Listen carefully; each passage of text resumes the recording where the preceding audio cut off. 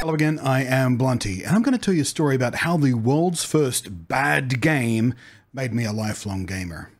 See, I became a gamer at age three, or thereabouts. It's hard to be accurate looking so far back, but I had a sibling who's about three years younger than me, and my earliest video game memories don't include them, so about three years. It was the early 80s, and our very lower middle class family was visiting our rather more upper middle class relatives who had just got an Atari 2600. Not for my two year old cousin, she was more interested in the trampoline at the time, so I'm guessing it was more for my uncle's amusement.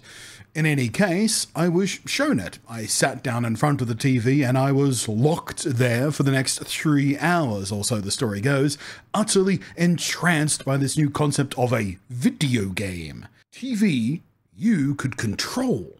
Boop, boop. And as the story is told, I would from then on always beeline right for the console on every single visit to those family members until that Christmas came and I got my own. Was a very exciting Christmas, and I used that console frequently for the next decade, long, long after it had been rendered old and out of date, until one weekend, without my permission or knowledge, my mother sold it and my rather large pile of game carts at a garage sale, assuming that I never used it because it was so old. I never did forgive her for that. Still mad about it. But the game that started it all, the very first video game I ever played, the adventure that entranced me for hours on end, was in fact one of the world's first controversial games a hated game, a game that these days would spin out endless amounts of hot takes in articles on YouTube and videos and Reddit posts and TikToks and whatever, a choir of screeching voices all yelling about just how bad it is and how terrible the developers are and how the publishers are just shoveling out any old garbage to make a fast buck because otherwise, you know, businesses don't really care about money that much. And of course, you'd have the contrarians yelling back at them, actually, it's pretty good. I, I, would be one of those contrarians defending this terrible video game because it was Pac Man for the Atari 2600.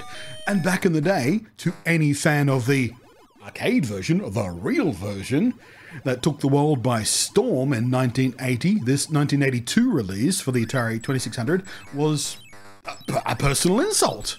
The game was, as was almost universally true back in those days, entirely developed by a single person. They did everything. In this case, that person was a man named Tod Frye, and it was in development for about four months. Four months. Four months. These days, of course, four years would be considered a short development time for a big licensed game. But there are many reasons beyond the tight schedule that were blamed for the many criticisms that the game received uh, at launch and long after launch, starting with the fact that it was considered important to enable two player mode which ate up a lot of the space on the tiny ROMs the carts had. The whole thing had to be crammed into just 4 kilobytes of ROM space. The 8 kilobyte ROM form factor for the Atari carts wasn't yet available. That probably would have helped it out a bit. So that choice led to a bunch of compromises all on its own, not limited to using up the also very limited memory on the console itself to store player 2's status and how many lives and the points and all that sort of stuff between turns. The Atari version had significant graphical restrictions too. Gone were the dots that Pac Man would munch on, replaced with what the manual called video wafers, if memory serves. The cherry became just a block, uh, as did the power pellets, just blocks in the corner instead of lovely round pellets. The maze was completely different too, and the teleport tunnels were on the top and bottom instead of the sides. That, that apparently annoyed quite a few people. Because one of the key things about being really, really good at Pac Man was memorizing certain patterns and people didn't like that it was a different maze with different layouts and everything, I guess. Skill issue. also gone were the individualized ghosts. In the arcade version, they had different colors. They all had different names and different personalities. They behaved differently from one another too. What was it? Pinky and Blinky and something or other?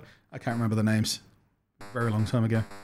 But the Atari version only had one ghost repeated four times, an endlessly flickering pale ghost. The flicker also being a workaround for some hardware limitations to do with sprites and whatnot, uh, and there was no flicker reduction put in, as was the case for later games, which used the same sort of little workaround, including Miss Pac-Man, by the way. And as for why there was no anti-flicker stuff built into the game, because there was code to do that, uh, but it wasn't used. Uh, and if you ask why, well, there's a few different versions to that story. also gone, though, was the iconic Waka Waka sound Pac Man was so recognizable for across the din of noise in an arcade or a pub or whatever. Instead, some classic Atari 2600 bleeps. But those bleeps and the game's start chime actually became something of stock sound effects for movies and TV for many, many, many years uh, when a character you know, on the screen was playing a game. I remember quite vividly there was many scenes in various TV shows and, and, movies and stuff where someone was playing a Game Boy or something not Atari, and you would hear the and the Atari beeps and bleeps and stuff just from a stock sound library. And the game's more basic graphics were also displayed on a coloured background. Sacrilege!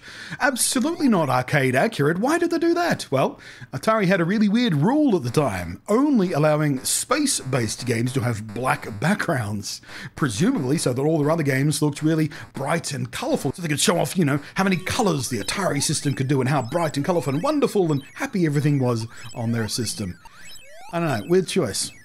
I mean, seriously, the, the Atari version and the arcade version only vaguely resemble one another.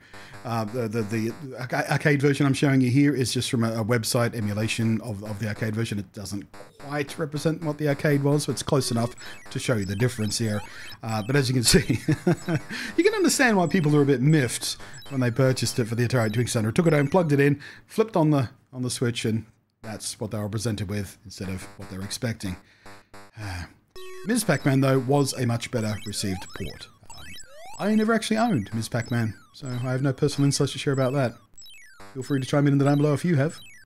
Pac-Man even became the pack-in game for the Atari 2600, the included game. Between that and the regular sales, it's estimated some around 8 million copies of this supposedly hated game were sold, making it the best-selling game on that system. Even when, in hindsight, some people piled it in with E.T. the Extraterrestrial, that most notorious of all failed crappy games, when it came to finding things to blame for you know, scapegoating the mid 80s video game crash on. Look how bad the Pac Man port was, it's, it's their fault.